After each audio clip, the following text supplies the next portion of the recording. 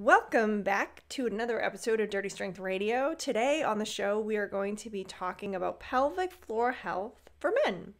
So, if you or someone you love is a man, then you might want to tune into this episode. Check it out.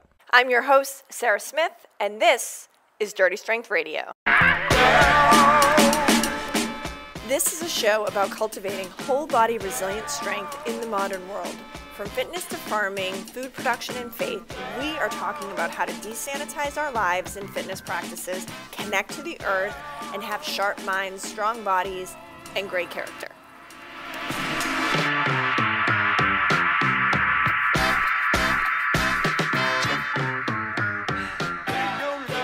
Hey guys, Sarah here. Super pumped to talk to you about male pelvic health issues there's a ton of overlap because, you know, pelvic floor is a group of muscles. Men have them, women have them. A lot of the stuff is similar, some differences, but I wanted to make an episode that was specific to men.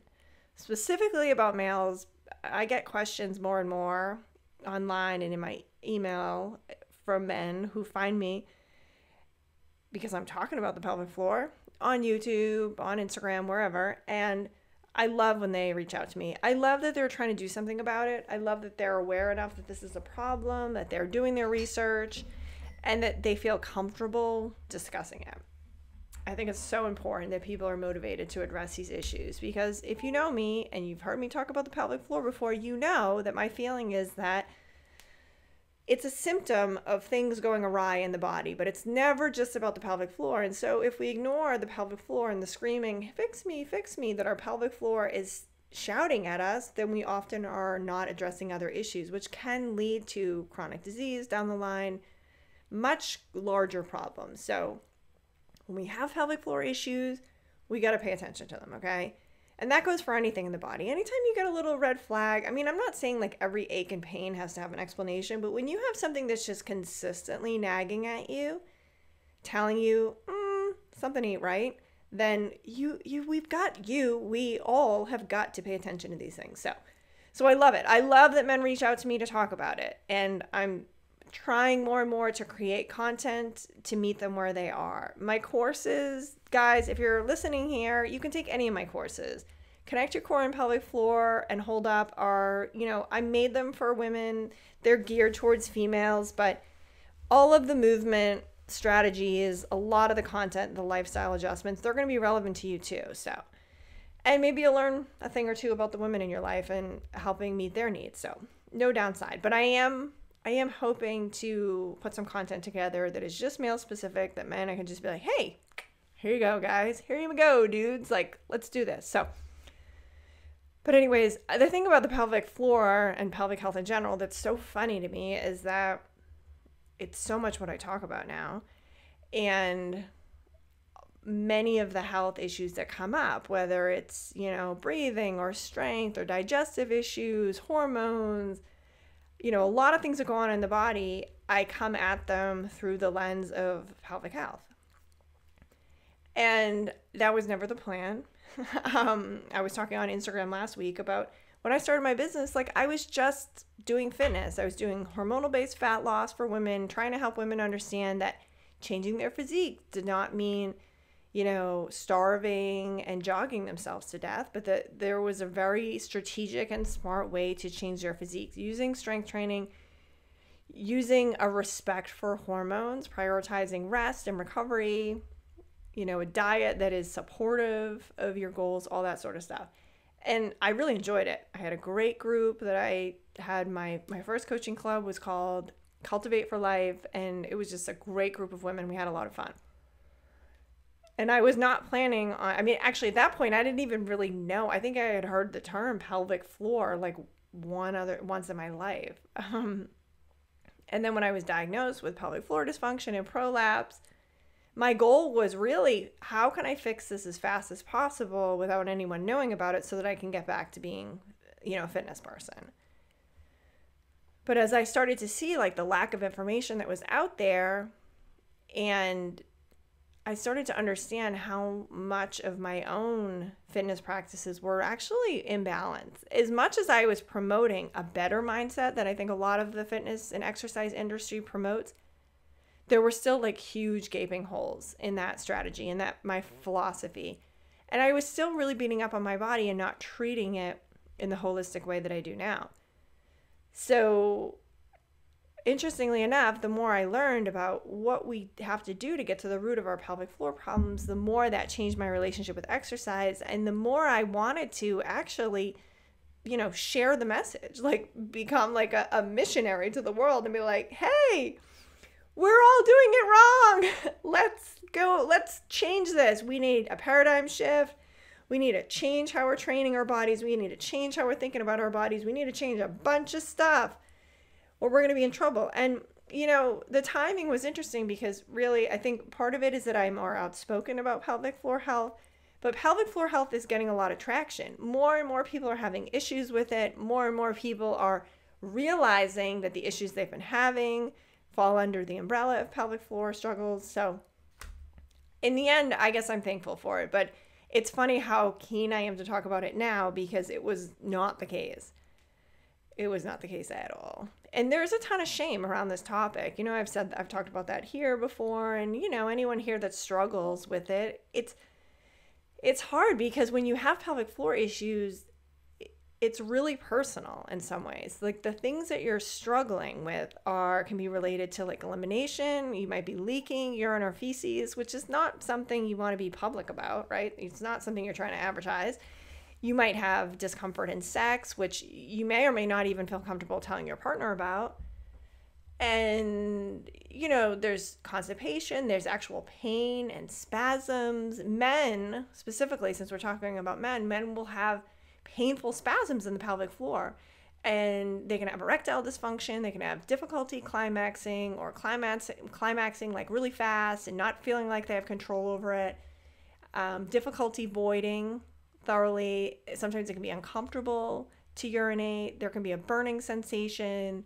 You can feel like you have a bladder infection. Um, you know, there's there's so many things that can happen. Hemorrhoids. I mean, like this is stuff that no one's like, "Hey, I really want to talk about it." And it's for me, it's funny that I talk about it so openly now.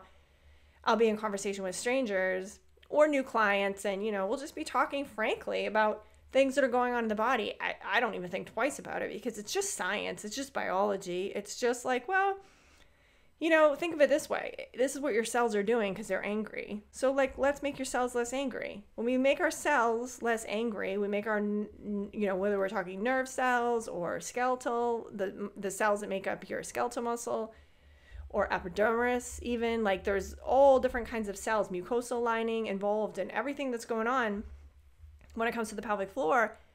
And, you know, we make them less angry, we make them happier, we make them more balanced, then they stop wigging out and acting weird, and then we feel better.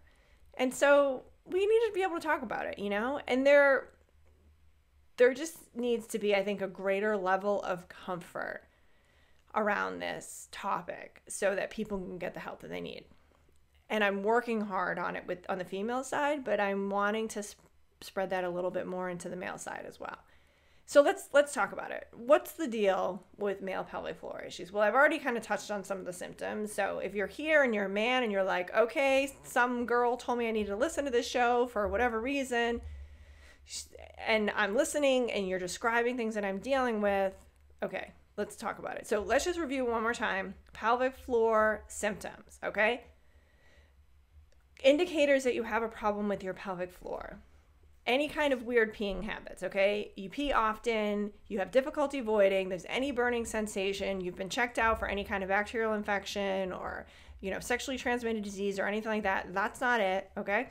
You're um, maybe you're leaking feces, right? So, um, like losing gas, losing control a little bit, and some a little bit of stool comes out, and this can happen oftentimes in workouts, right? hemorrhoids, which is related to that because both the leaking of stool and then also hemorrhoids can be a lack of ability to manage pressure. On the sexual side, performance. So, if sex is painful, if you have difficulty getting an erection, if you have difficulty maintaining an erection, or if you climax like really quickly and too soon, it's not enjoyable, things like that. and let me think anything. Oh yeah, and then just pain, pelvic like spasms, muscular spasms. You just feel super tight. Maybe you just your pelvic floor feels lifted, like testicles feel really lifted. Everything just feels super tight. And then when that is the case, that can often be coupled with some hip or persistent back pain. These are pelvic floor. These are pelvic floor problems, okay? So, oh, and constipation. We can't forget that. Constipation it can be because you have a super tight posterior pelvic floor. If you can't relax your posterior pelvic floor, then the rectum doesn't really open, relax properly. It makes it difficult to eliminate stool easily. And then, if stool is not re- removed pretty much daily or every other day, it, it can become dehydrated and hardens. And in addition to the fact that hormones and toxins get reabsorbed into the bloodstream, which messes with your body and messes with elimination, it just gets really difficult to get out the stool. And you need to be pooping generally like every day or every other day to get your toxins and to get your um, expired, yucky, used hormones out and also just so that it doesn't get dry make it difficult. And then you like everything starts to back up and you can have all these other problems upstream from there in your gut. Eh, no bueno right? Not to mention like the bloating and cramping is uncomfortable it can make working out difficult and and just moving in general your mood. I mean i've actually literally felt like in a terrible mood before just because like my system is a little backed up. So you can become a little bit more emotional a little bit um, have like a shorter fuse like all these things. So yeah so these are some pelvic floor issues. You got it now? You hear the symptoms or you're like okay that sounds like me. Yeah i got a little bit of that. And the question is what do we do about it right? What do we do? So, depending on how severe it is, you know, um, I worked with someone once that they literally have been like constipated for like a week. I would say that would probably be a good idea to go and see your doctor and do something you really want to, you know, avoid any kind of bowel obstruction, which could require you to have surgery and have them go in and surgically remove something. So you don't want to let things go that long. But all of the things we're talking about here they're urgent and they're problematic in the sense that they negatively impact your quality of life, right? But they generally are not emergency room type, you know, problems. And sometimes you'll even go to your physician and they won't really ask all the right questions or they won't they'll they'll think that it's strict like mental health issue and just anxiety or something and they'll want to prescribe like antidepressants. It happens on the female side all the time, but it definitely happens with men as well. And that is just not going to solve your problem. Numbing your emotions and giving you a false, um, you know, supply of serotonin is not going to fix your pelvic floor issues or the pain that your pelvic floor is causing you because if that's not the root cause. There can be an emotional component but we'll talk about that too. So so the question is like what do you do? You're listening and you're like well what like what's my course of action? Like how do i fix this so there's several areas that we tend to need to look at when the pelvic floor is a problem. The first thing I like to look at is breathing, airway health. Do you breathe with the diaphragm? This is really important because if you're not breathing with the diaphragm properly, meaning like your thoracic diaphragm is moving up and down in coordination with your pelvic floor. When you take an inhale, your thoracic diaphragm lowers, your pelvic floor lowers. When you exhale, pelvic floor lifts, diaphragm comes up, helps and pushes the air out of your lungs, okay?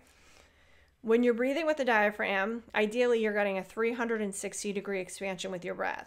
So your rib cage is expanding in all directions the front, the back, and the side. Many of us are not good at this. Many of us are either breathing too much into the chest or too much into the back. If you have like rounded shoulder postures or a lot of internal rotation in the shoulders, I see that a lot of guys um, in the gym have these issues where their you know their shoulders are internally rotated and they're they're oftentimes breathing shallowly.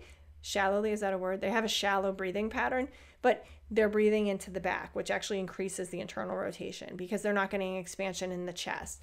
Um, and you know if you're doing a lot of benching and a lot of work on your pecs and things like that and those muscles are super tight and you have the habit of not having your tongue rest on the roof of your mouth, breathing through your nose, and really focusing on getting getting that full 360 degree breath, then you know the compensation can be that you just breathe into your bath back, which will throw off your posture and lead to you know very varying positions in your pelvis which negatively impacts your pelvic floor.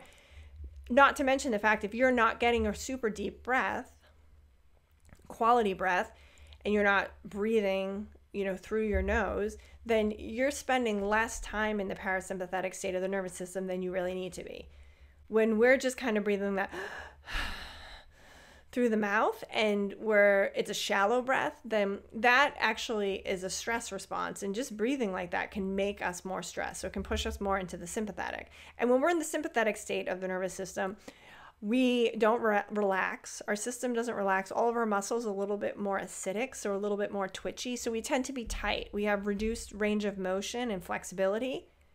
And that often goes hand in hand with pelvic pelvic floor over recruitment. So a tight engaged pelvic floor. So, people that have tight engaged pelvic floors are going to experience mm, difficulty voiding fully. If you can't fully relax the bladder, then it can be difficult to get all of the urine out. So, you might find yourself going to the bathroom often, or you might feel that burning sensation, like, or just this the feeling like you need to pee, even though there's nothing there. You can also have pelvic muscle spasms and you know the all the erectile dysfunction issues and everything difficulty eliminating because you can't relax you can't let stool out and then because you're pressing a lot pushing down on your pelvic floor either to push out stool or to to lift heavy things in the gym you often can end up dealing with hemorrhoids if you keep doing it for a period of time then you can get into that place where you're leaking stool too because the pressure is just too great you start to lose the ability to hold in stool. In fact, some people even start to deal with prolapse of the rectum because they don't know how to relax the pelvic floor. So they're always pushing up against a pelvic floor that's really recruited. There's not a lot of give. And so it will become too much at one point. And you can, if you lift too heavy one day, your rectum can literally be pushed out, which is, you know, like we're not going for that, right? so, so this is just the breathing. The breathing alone, breathing getting that 360 degree expansion in the breath, really signaling to your diaphragm to move through its full range of motion is going to calm your nervous system. So it's going to change how all your muscles, your whole system works and is going to help you to get a connection to your pelvic floor because like I said, pelvic floor and thoracic diaphragm move together.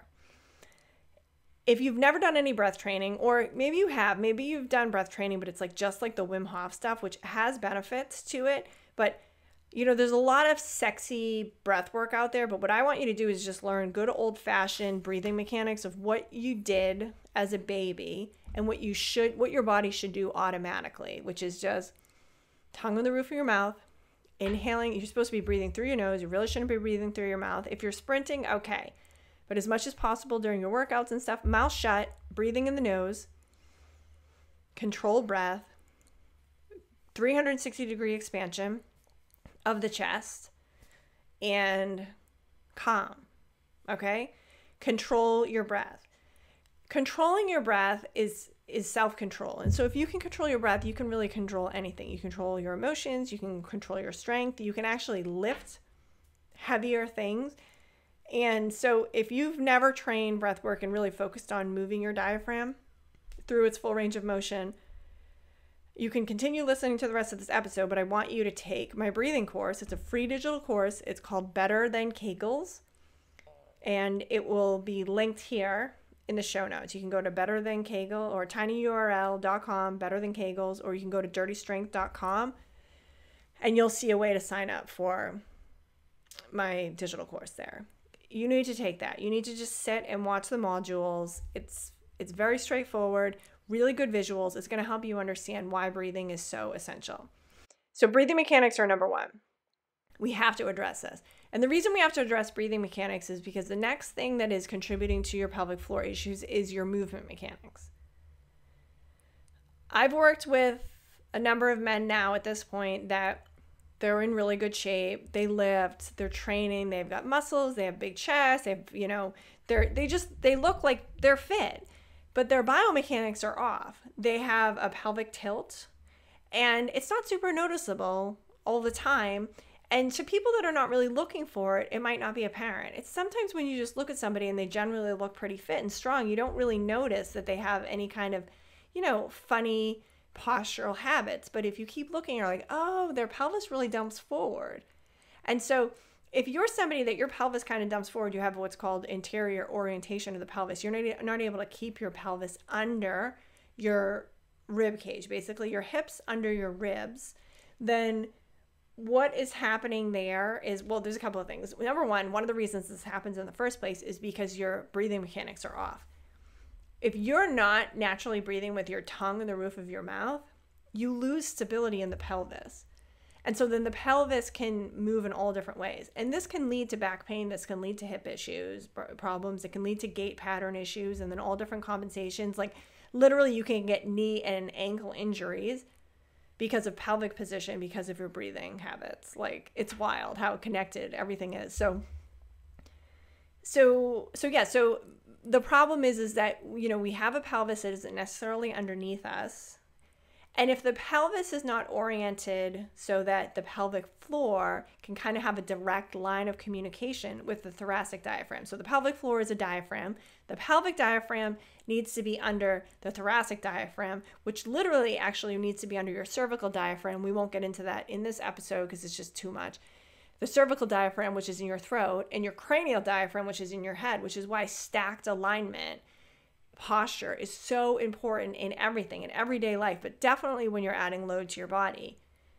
If you don't have that, then you're going to have difficulty engaging your pelvic floor. You're going to have a hard time recruiting it when you need to and relaxing it. The recruitment part of the pelvic floor is important because when it lifts and engages, it, it gives stability to the pelvis. And the pelvis is at the base of your torso. So your core strength and your core stability in a large part comes from your pelvic floor. It's actually how your pelvic floor works together with your deep core muscles, like your transversus abdominis, your internal obliques, and the air, the pressure that you create when you inhale. All of these things work together to give you stability in the trunk.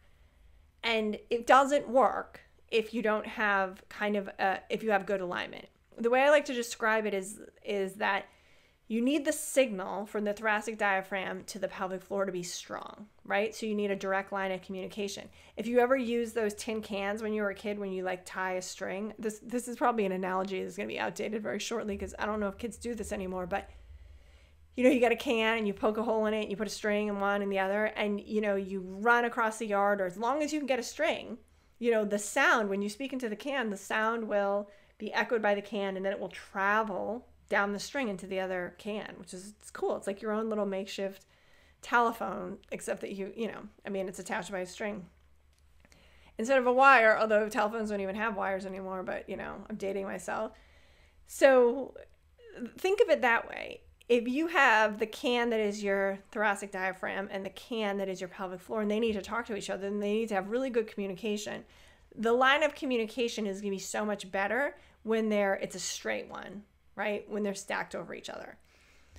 So we have to train that. And it doesn't matter what you're doing, whether you're jogging, jumping, running, pressing overhead, deadlifting, you know, you need to make sure that you have this alignment that is somewhat stacked. Now you can pivot, you can tilt the body. You know, when we hinge in the deadlift, we're hinging forward, but we still do it in a manner that our ribs are over our pelvis so that we still have a direct line of communication from the diaphragm to the pelvis. And you know, there's it's not it doesn't have to be perfect. It's not like if you're not in this exact line, you're going to have pelvic floor problems, but many people don't realize that they're living with their pelvis out in front of them, dipping forward, and it impacts how you walk, how you lift, how you breathe.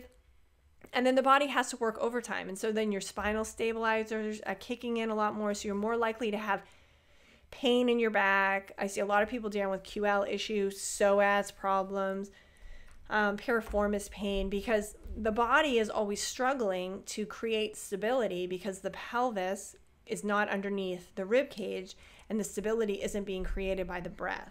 When you inhale, when you take an inhale, right, you're like, oh, that wasn't a good inhale. Sorry. When I'm doing a lot of public speaking or recording, it's difficult to get a good breath. Okay, here we go. Let me try it again.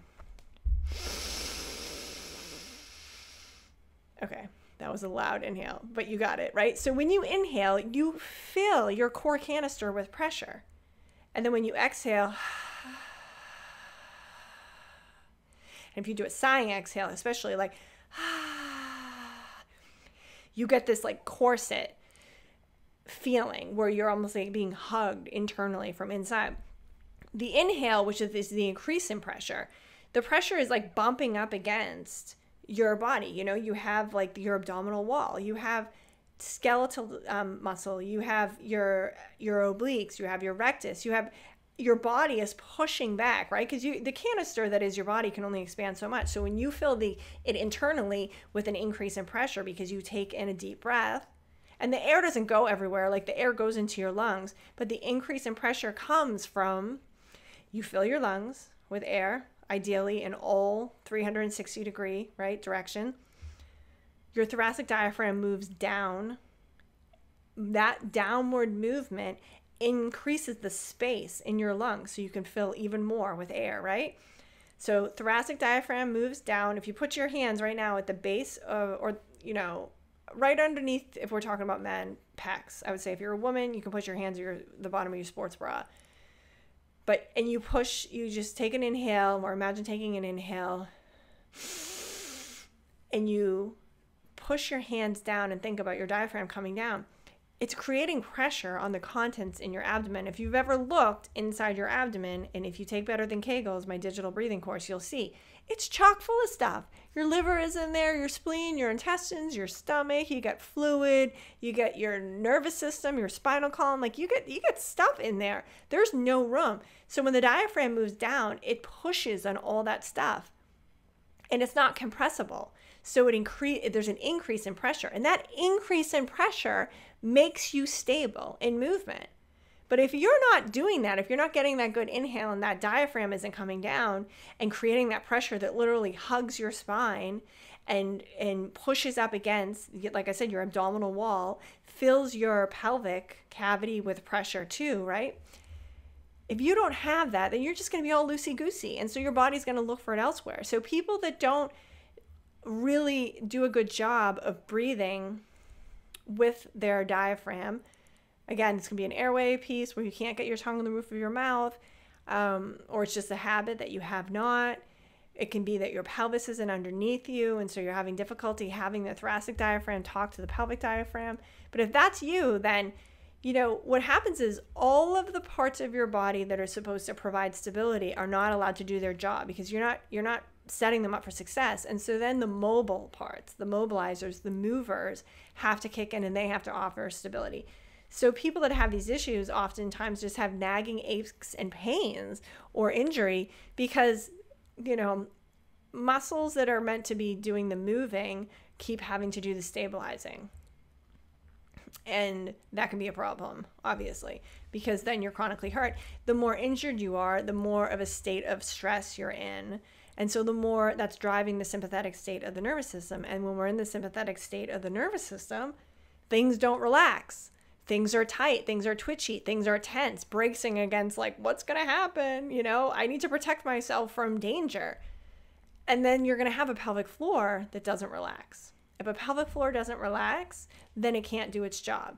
If you're here and you lift, you understand that if your bicep is already recruited, biceps is already recruited, you can't lift anymore with it.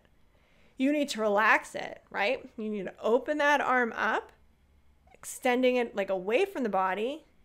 Put a barbell or no, sorry, a dumbbell into your hand. I wouldn't, I mean, I guess probably there are people here that can curl a barbell, like more power to you, but put a dumbbell in that hand and then you can recruit. Then you have access to all the power in your biceps, right?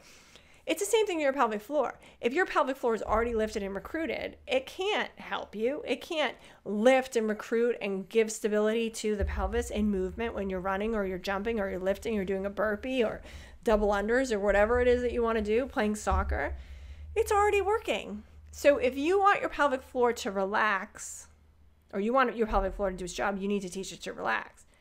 And teaching it to relax comes from the breath. And the breathing in the right posture with good alignment is going to calm your nervous system. It's going to calm and relax the muscles. It's going to be more efficient. and your the whole body is going to be happier because everyone's going to be doing their job. The stabilizers are going to be stabilizing, the movers are going to be free to move.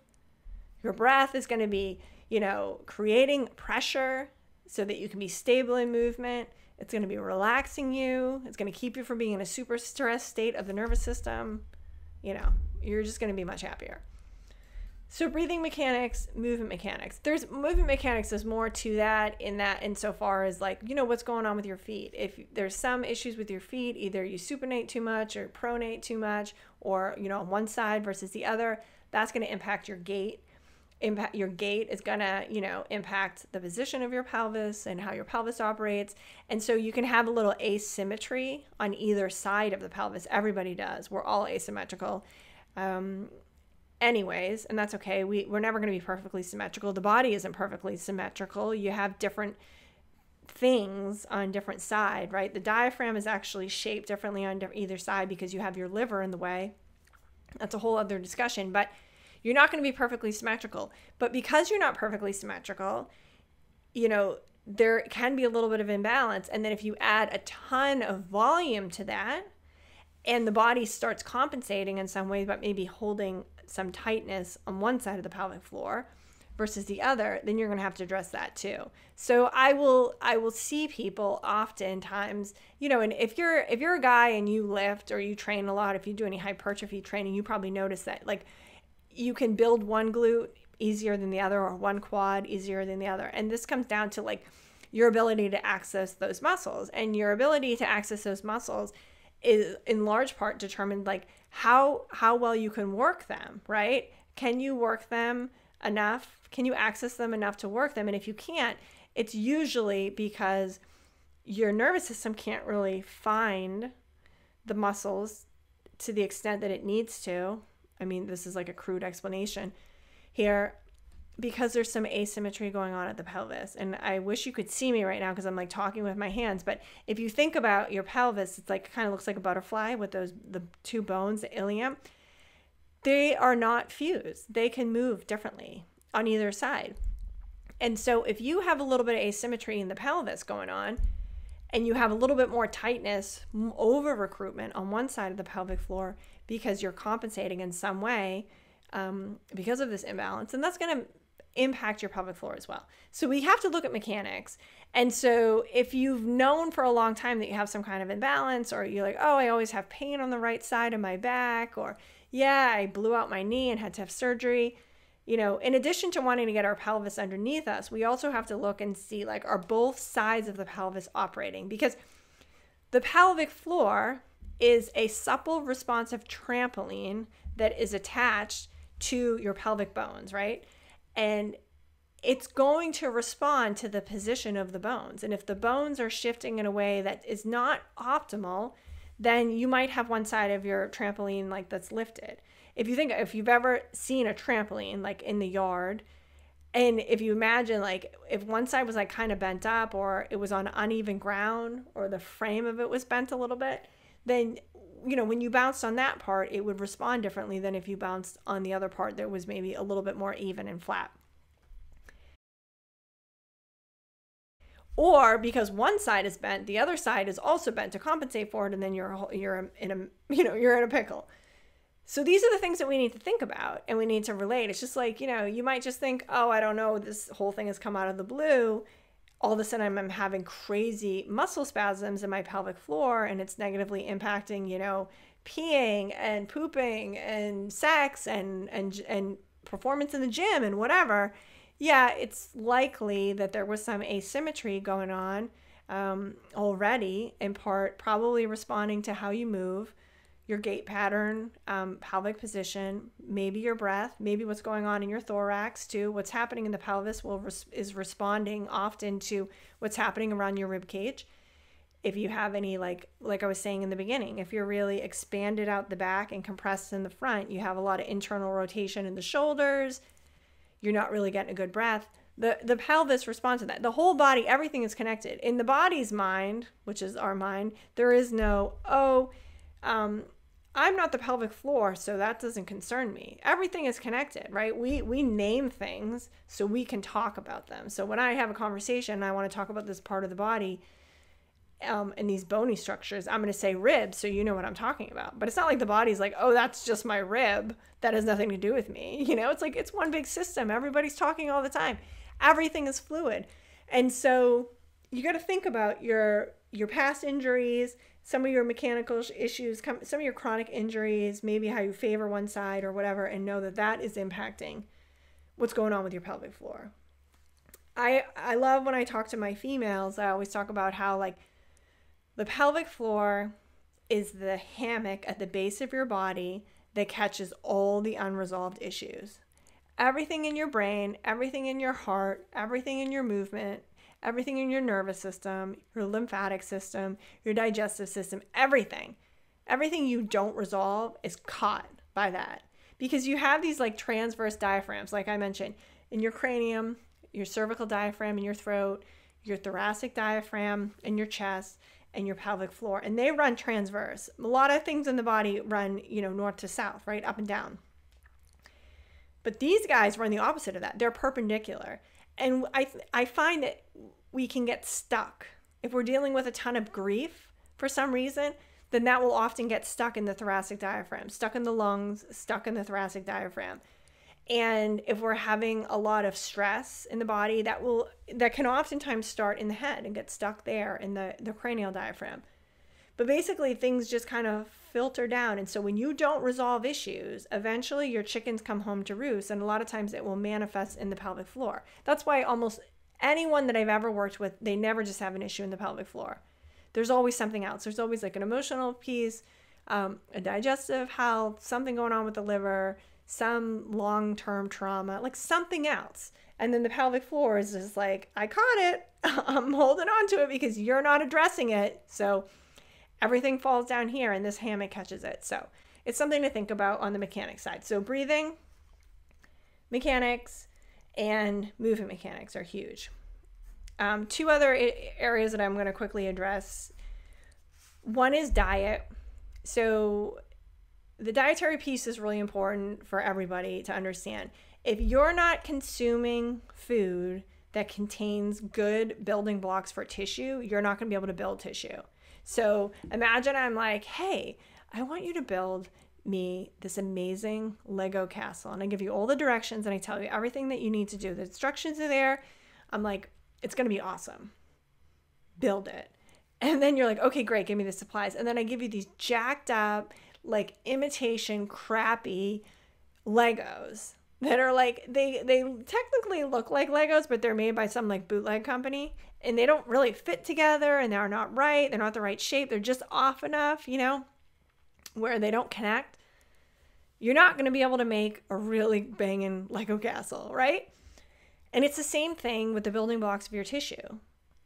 If you're not, it's like garbage in, garbage out, or garbage in, garbage staying in, rather, because if you're putting things into your body, like a lot of men think, especially if they're trying to put on muscle, that it doesn't matter what they eat. They're like, oh, I'm having protein shake. As long as I'm getting the right macro ratio, that's all that matters. But I'm telling you that that's not. And you know, as you get older, it will become more and more apparent. But I'm telling you, the age of the people that are coming to work with me with pelvic floor issues is getting younger and younger. I recently had a very fit guy who was in his 20s come to me that's having pelvic floor issues. And it's, uh, you know, there's a number of reasons for this, but one of the things that I think is is contributing to this is that we are growing up on such toxic diets now. Even things in the store that are labeled as natural. And if you're in fitness, a lot of people in fitness think, oh, well, I eat healthy because they eat a bunch of smoothies or shake, protein shakes or bars and things like that. But when you actually read the ingredients and you see that they're they're oftentimes filled with GMO plant products, toxic plant products, um, rancid vegetable oils, things covered in pesticides and herbicides, then you start to understand oh, okay, well, this might be why I have chronic digestive issues. There is an undeniable link between what's going on in the gut, what's going on in the liver, and what's going on in the pelvic floor. So, a lot of guys that are in fitness, they have um, hormone issues. So, like a lot of breakouts, maybe some mood issues, things like that. And this speaks to the liver. That means the liver is overloaded with toxins. So, you need to detox the liver. Why is the liver overloaded with toxins? Well, It could partly be stress, it could partly be because you don't poop regularly. It's often because of what you're eating. So if you have pelvic floor issues, really, I don't like to be super dogmatic when it comes to food, but I would say only eat organic and stop eating so much processed food and see what happens. If you have pelvic floor issues and you also have digestive issues, then you know that part of this is your gut is angry. When your gut is angry, it creates inflammation in the body. It's also difficult for you to assimilate nutrients and make good quality tissue in your muscles if you're eating a lot of food that is processed food, um, particularly food that is probably sprayed with glyphosate, if it's any, if it's a GMO grain, and you can go and look up the glyphosate foods. Um, Environmental Working Group has some information on it. Uh, Weston A. Price, I'm sure, does. Mercola, Dr. Mercola's website. You can go and check things out. You really want to steer clear of glyphosate as much as possible. Glyphosate is a herbicide, it's Roundup. It's on pretty much any GMO grain and lots of foods. If it's not organic, there's a really good chance it could have glyphosate on it. So, glyphosate is a herbicide that messes with your collagen. So the structure of your collagen will actually be altered by consuming a diet that has glyphosate. If you get a little bit here and there, it's probably fine. I believe in the body's ability to detoxify and be smart and you know compensate and fight off environmental toxins. But if you're just loading yourself up with processed foods and crap and i'm telling you protein shakes and protein bars are two of the biggest offenders for garbage. And so you're going to want to think about that. Take a second look at that. If you want to go deeper with the whole glyphosate thing you can listen to my podcast interview i did with dr stephanie seneff from mit she's genius. She talks all about it. She explains it and she talks about the people that she's worked with who literally have had that burning sensation, that need to go to the bathroom all the time, resolve just by eating an organic diet. I know it's expensive, but how much is the cost of having a pelvic floor that is not happy? You know, you got to think about that. The other piece that I think is really important as well is you know, if you're eating a diet that's just not agreeing with you, it's not good for you. You know, you have increasing food intolerances, you're maybe you're having diarrhea, inflammation. And this can look different for different people. I've worked with people before that just cutting out gluten reduces inflammation in their body and then their pelvic floor issues go away because it was a manifestation of inflammation. Some people just don't tolerate it. Some people cannot tolerate oxalates. Oxalates are a plant chemical in beets, almonds, spinach, um, sweet potatoes, you know, nut butters. What else? Tea, celery juice.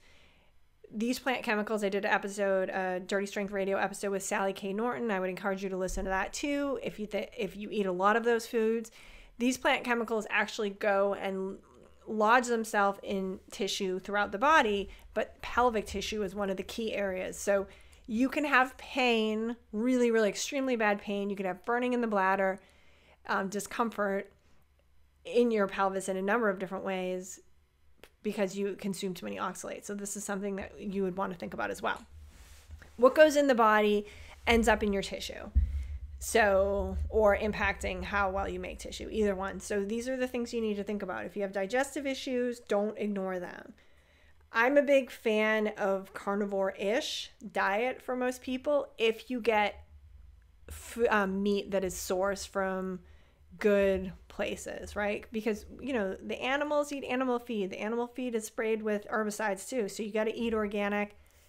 If you have like local beef, that's ideal where you know the farmer, you know what they're feeding them, you trust them. Something to think about. So that's a digestive side of things. And then finally, I want to talk a little bit about mindset. So, the things I come across the most, I mean, what I'm addressing here are the things that I come across most when I talk with men.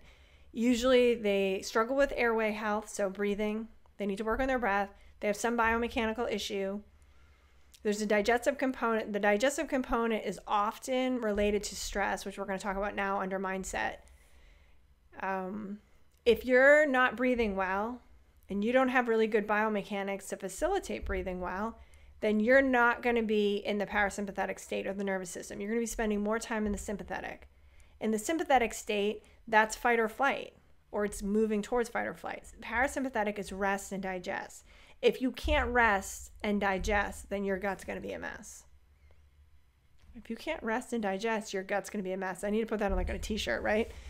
So keep that in mind. All of the thing I love about this topic, which is just so freaking fascinating, is everything's related.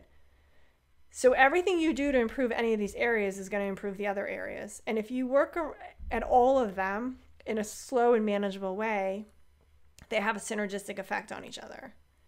You start getting in better alignment to practice your breathing, and you start breathing regularly, you're going to rest better and you're going to digest better, and then your gut health is going to improve as well. So, you'll still have to take out any eh, foods that are irritating to your gut currently. Like, I don't think resting and digesting is going to keep you from having a negative response if you eat a bunch of beets or if you drink a lot of spinach, you know, spinach juice, spinach smoothies. I don't know. You know what I'm saying? I can't stand spinach, so that's not a problem for me. but but anyways, you get it. Um so let's talk about mindset, the last piece. I do see men thinking that they can just train. Well, I mean, women do the same thing train, train, train, beat up on their bodies and not honoring rest and don't realize that exercise is stress and inflammation for the body. Exercise is beneficial and gets you in better shape because the adaptations that your body goes through to heal and recover from a workout makes you helps you grow better muscles and helps you to be fitter for the next time you challenge it. You're going to grow stronger. That only works if you're getting adequate rest and recovery. So you need to have adequate food, good food. Again, eating food loaded in toxins actually is counterproductive because rather than just recovering and building muscle, your poor body is has to do all this other extra crap to get rid of all the extra crap, all the toxins. So that's when your liver starts becoming overloaded, your sleep gets interrupted, your mood stinks, and your skin starts breaking out.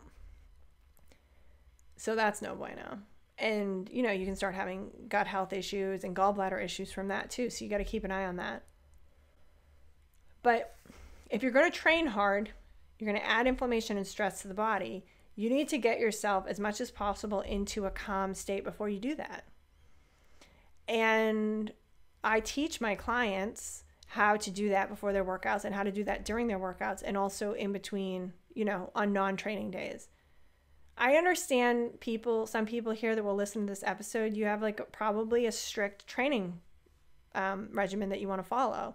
I talked to a guy recently and he's like, I train four days a week and I lift and I don't want to change that. And I'm like, okay, I get it. I mean, do what you got to do.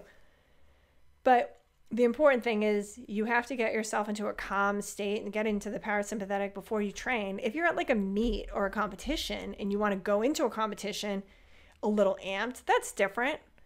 But you can't train amped all the time. Like, that's crazy. This is why you have pelvic floor issues. If you're amped, think about it. When you're amped and you're like, yeah, everything's tight and tense and lifted, including your pelvic floor, that doesn't feel good. Tight and tense and lifted does not feel good. Even if you're just thinking in terms of testicles, you're like, okay, when things, when, you know, when we get frightened our pelvic floor tightens and lifts. We get stress, right? And in the male body, that happens and it literally like pulls the testicles up close to the body. Well, that's not how you want to live. It's definitely not going to be good for fertility purposes.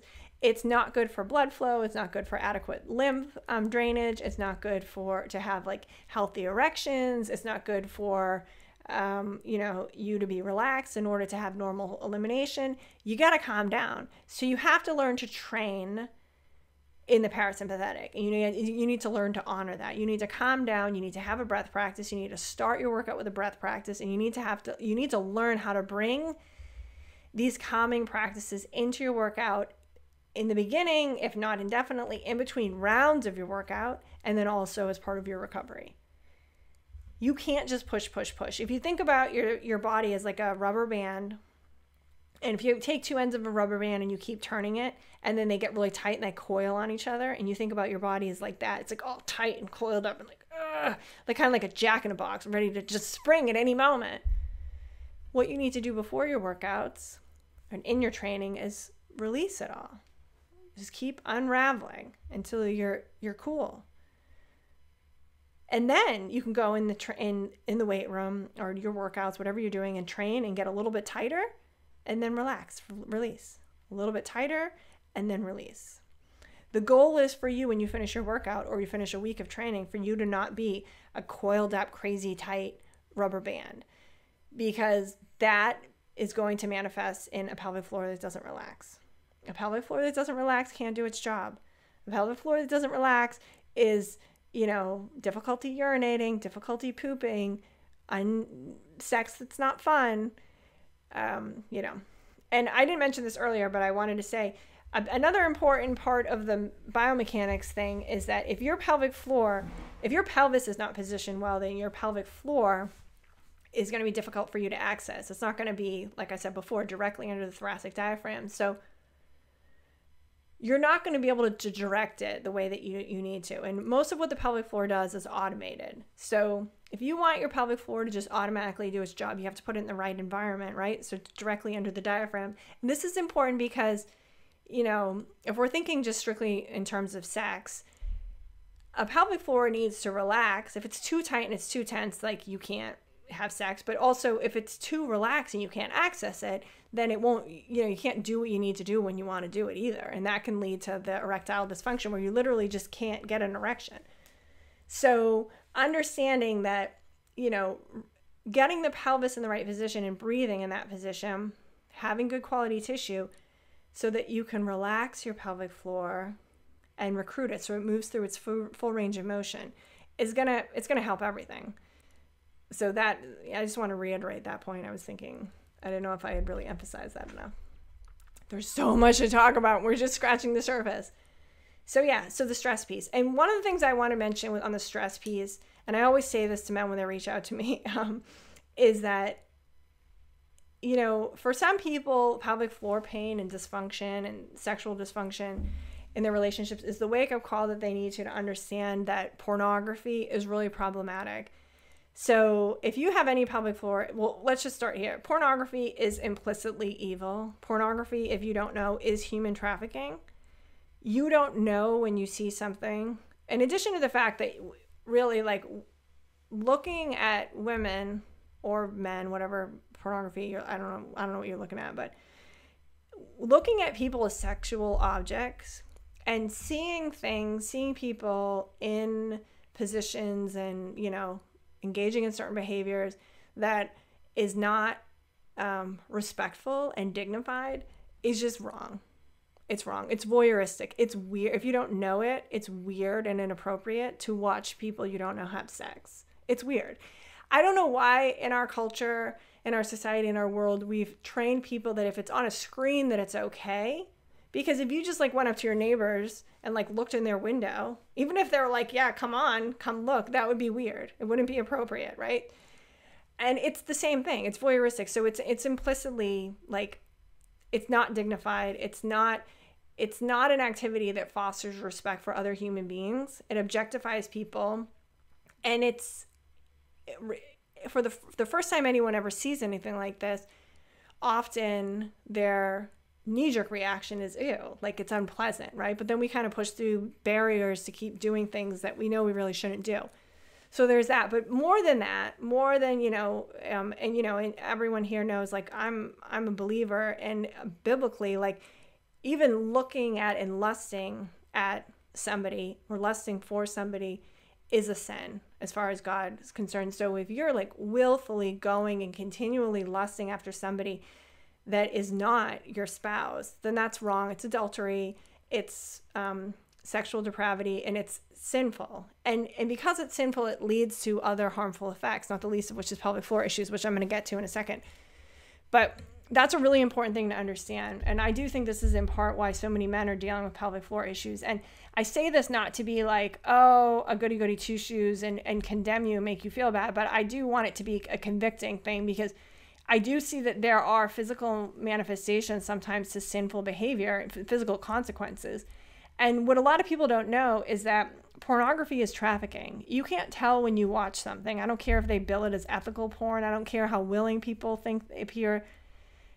I know a lot about human trafficking. I've been studying it for 10 years. And pornography is trafficking. Many of these people are forced. They're, it may not look like it, but they're being raped. They're forced against their will. They are often killed or die in the industry. They are forced to traffic drugs. They're forced to take drugs and to do things that they don't want to do. And some, even the videos that appear where people are happy to engage or consenting, you don't actually know. And there are plenty of instances where people have, men and women, have reported that their rape was put on major porn sites and sold over and over and over again, and they they are unable to get them d- taken down. So you're if you're watching pornography, you're often witnessing crime and engaging in crime, and that actually creates stress in the body because we're all made with a conscience and we're all made in God's image, we're not supposed to look at things like that. We have an innate response. It doesn't matter if our the pleasure centers of our brain have been trained to enjoy looking at these things. The physiological response that the body has is one that is stressed. It's not happy about it. The interesting thing though is that if you continue to watch pornography, it changes your stress response and your ability to self soothe and just to be happy and to manage stress diminishes without pornography. So we find people that are actually addicted to porn, they need to watch porn to calm down. And so when that's the case, you know, um, and I'll link to organizations in the show notes if it's something that you need help with. You need to learn how to wean yourself off of it. I don't even know, which is horrifying to even have to think about. I mean, I guess I, I do believe the Lord can deliver anybody from anything immediately. So you can pray and ask the Lord to deliver you from the addiction. And I would certainly pray for you too. And I, I will pray for anybody listening this episode that that's the case. But but oftentimes, um, you know, biochemically, you have to wean yourself off of it because you have to rewire your body's stress response. And the vagus nerve, which is responsible for helping us to get in and out of the parasympathetic and the sympathetic, is a very important thing to be able to do. We need to be able to get into the sympathetic. We need to be able to get stress because that's what we use to be protected. That's what we use to run races. That's what we use to run away from danger. That's what we use to get up and make a speech in front of, you know, a crowd. But when we rewire the stress response, then we actually need to. I mean, it's just like any other addiction. Your body gets to a point where you need the pornography to calm down. You need the porn. And the other thing that's interesting about porn, too, is that, you know, one in eight of the videos on any major porn sites, according to the research, is aggressive, is very aggressive. And so there's, there's an aggressive tendency, um, behavior wise, in men to develop from watching pornography and porn is designed to lure you in and to get you deeper. So oftentimes it will be mild at first, and then that won't be enough anymore because, again, it's rewiring your pleasure centers and your stress response in your mind. So, you know, because it's innately evil and because we're not supposed to look at it, the depravity just pulls you deeper and deeper. And so you'll ha- you'll find yourself having to look at more severe, more aggressive, horrific things. And and so what happens then is that if you're a nice guy that just has an addiction to porn because you were exposed to it at a young age and you thought it was normal, and now your brain tells you that you need it and your stress response tells you that you need it, then you start to maybe have more aggressive tendencies. And then the problem is the aggression because you're nice, you know it's wrong, you have to work so hard to repress it. And repressing that manifests as stress in the body. So there's lots of research to show that neurologically is a, a very negative response to watching porn in the body. And we know that the pelvic floor and proper sexual function is related to the nervous system, you know, and pleasure centers in the body. So if you're having pelvic floor issues and pornography is something in your life, this is something you're going to have to address too and take it as a blessing. Take it as like, you know, God is really using this serious red flag to get me to to get out of this fantasy world that isn't real, that is encouraging some unhealthy behaviors, unhealthy biology, literally my cells are changing because of it, and get me back to the real world where I have meaningful, loving, caring interactions, you know, with a, a hopefully a spouse that loves me and respects me and my body will respond positively to that. And it might take a little bit of work. I think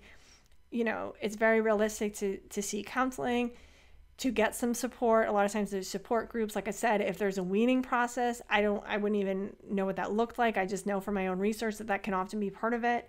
And i definitely think there's a spiritual component where we just have to confess our sins to the lord and say god help me with this. Deliver me from this addiction. Help me to stop going back there. Change my brain change my nervous system so that i don't need it.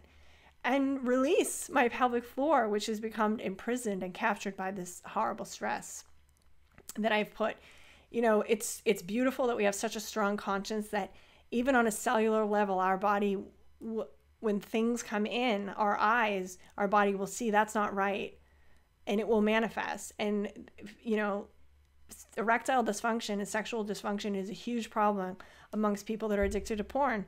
And so you can do all the breathing and you can do all the dietary stuff. You can get your pelvic floor operational. You can rest better between workouts, stop overdoing it and everything, but this is an area that will have to be addressed as well. And um, I pray that that will, for anybody here, and I know not everyone listening will struggle with it, but some people will. And I think this is an important thing for people to know about.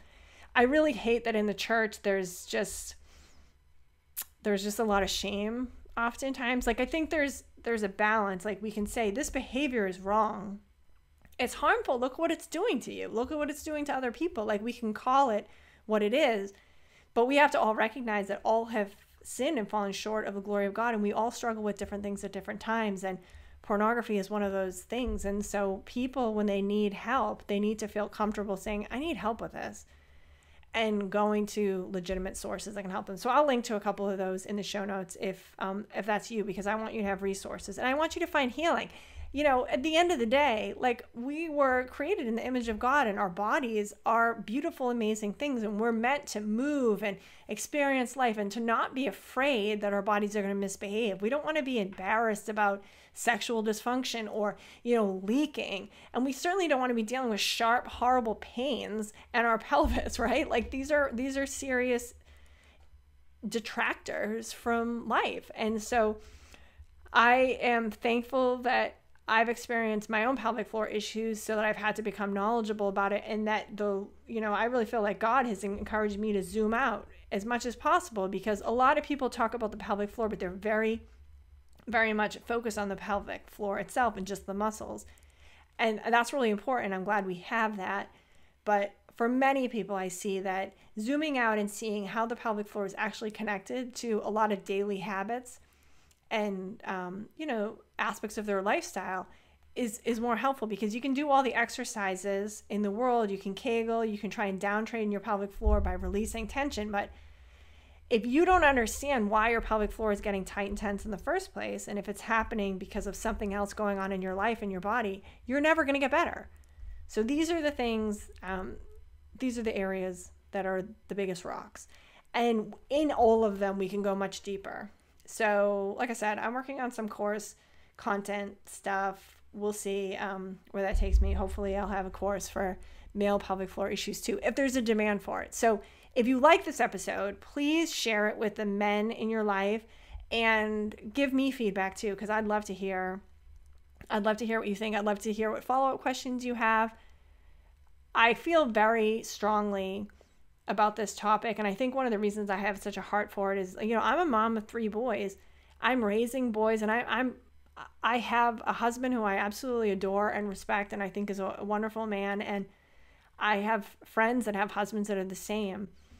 I don't believe in this toxic masculinity message that is being perpetuated in our culture. I think men being ashamed of their masculine tendencies is terrible. I think it's horrible and I think it's exactly what the powers that be want because when men don't stand up and and show up in the world in all the fullness of their strength and masculinity, women have to step in to do that job and women get bitter and resentful and we we're strong and we're capable and we can defend ourselves, but there's a role God has given men the role, especially men within households, to be the protector and to be the provider. And when they don't do that, it leaves us vulnerable in so many ways. We know that, you know, the crime rates in this country are directly related to single parent homes where the father is absent. We know that men can be um, perpetuator perpetrators, sorry, of crime, violent crimes, but they also stop them. So we need strong men. And if pelvic floor issues are holding you back from making you feel strong, then I want to help solve that because I want courageous men. And like I said, even if you're dealing with an addiction that is impacting that, I know that God is bigger than that. I know you can beat that. And I know that if you have the will to um, improve yourself and to overcome these issues, then you will do it and that God will God will help you. So I just want men to be as equipped as possible with whatever it is that they need to show up in the fullness of their masculinity for our culture, for our society, and for our world because good, strong, amazing women need good, strong, amazing men. And pelvic floor issues shouldn't be holding men or women back. And it's it's such an intimate topic that's shrouded in shame for so many people that I, I really want to cut through all that give the hard truths, give people practical brass tacks strategies for like how to move forward so we can all just be living in the fullness that God has designed for us to live through so or live in.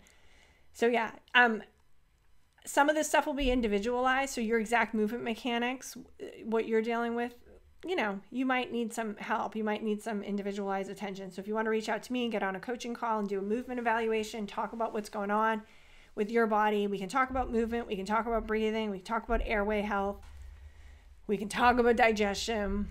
We don't have to talk about porn, don't worry.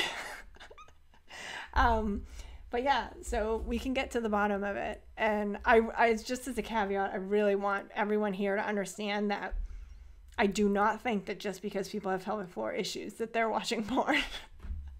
I just want to say that. So I don't want people to be like, oh, well, if I reach out to her, she's going to think I'm, you know, she's going to call me a voyeur.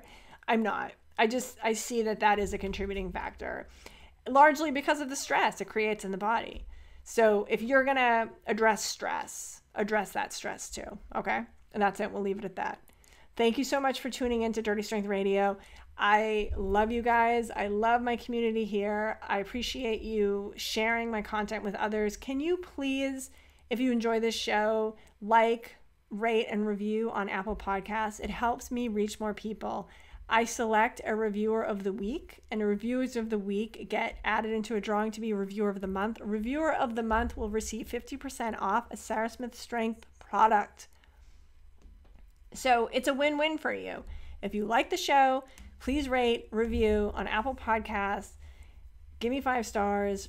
Write an actual review that way I can find you, find your name, whatever your Apple podcast handle is, and I will announce it on social media and social media, social media, and in my email newsletter. Thank you so much for being here. I really love you guys. Have a great day.